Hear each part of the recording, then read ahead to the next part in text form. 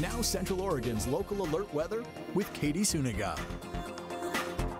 Our fire weather warning was upgraded to a red flag warning, also known as a fire weather warning. Right now, it is only in place until midnight, but when we take a look at that future track, you'll see that there's a really good chance that this will be extended at least through the afternoon tomorrow, maybe even into the early evening, because we are expecting to see showers and some thunderstorms all the way until about 6 o'clock tomorrow.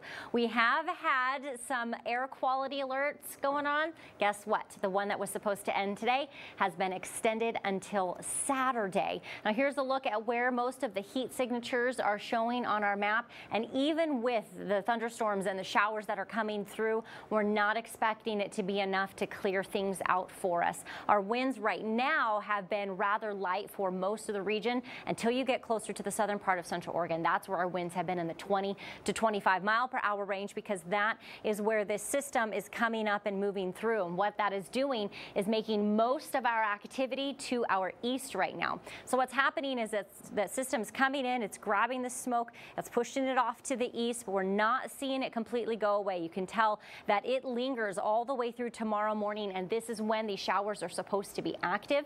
What's happening is this ridge of high pressure is on its way out, and we're getting into this part of the storm and the system tomorrow. That continues on for us into the weekend, and you see things very quickly return to mostly clear and not seeing too much of an activity.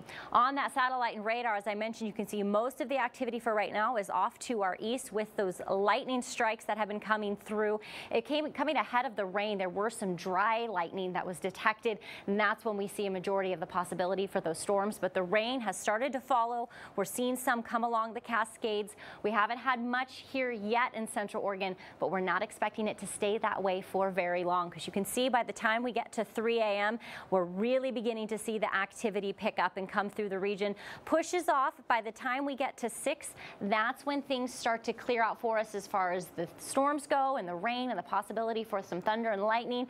By the time we get to Saturday at 12 o'clock, the clouds have mostly cleared out. A few should still come back in and out of the region through the weekend, just partly cloudy skies, but not detecting any additional rain activity as that's when that next ridge quickly moves back in after this trough passes through tomorrow. Temperatures are going to take a very quick dip. So here's where we are today. We were still above average, a bit cooler than yesterday. Tonight we stay on the warm side and very similar to where we were last night. Tomorrow when that cold front hits, you'll see our temperatures drop and some parts of the region may not make it out of the 60s. That does not stick around for too long. We do warm just a bit, but it's not until we get through the weekend and that cold front passes and then we see back those upper 70s by Tuesday.